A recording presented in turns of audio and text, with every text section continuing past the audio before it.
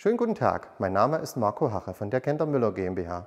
Ich möchte Ihnen heute eine Alternative zur Desinfektion für den nichtmedizinischen Bereich vorstellen, unseren iClean Mini.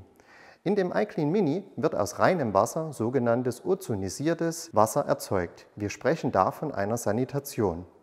Einfach mit dem iClean Mini die Oberflächen einsprühen. Wichtig ist darauf zu achten, dass die Einwirkzeiten eingehalten werden. Speziell in Bakterien- und Virenreduktion sprechen wir davon, dass wir bis zu 99,99 Prozent reduzieren. Besonders getestet auf den Coronavirus bis zu 99,99 Prozent Reduktion. Nachdem wir die Fläche wieder trocken gewischt haben, möchte ich nochmal speziell darauf hinweisen, dass Glas, Plexiglas, Holz und alle empfindlichen Oberflächen nur mit Wasser gereinigt werden und damit eine sehr, sehr schonende Reinigung stattfindet.